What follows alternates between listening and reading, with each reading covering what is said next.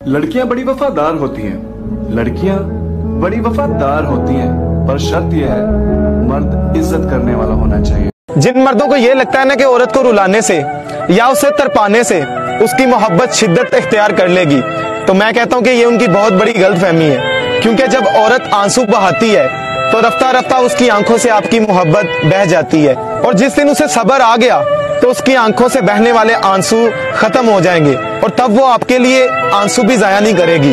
और अगर आँसू खत्म हो गए तो समझ लेना कि उसके दिल में तुम्हारे लिए मोहब्बत खत्म हो गई।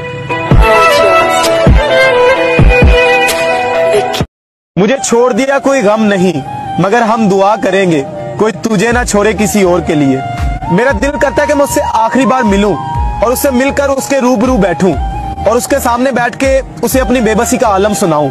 और फिर उसे पूछूँ कि उसने मेरे साथ ऐसा क्यों किया। और मैं उससे पूछूँ कि अगर दूर ही जाना था तो पास क्यों आए? मेरे दिल में क्यों जगह बनाई? मुझे क्यों सताया?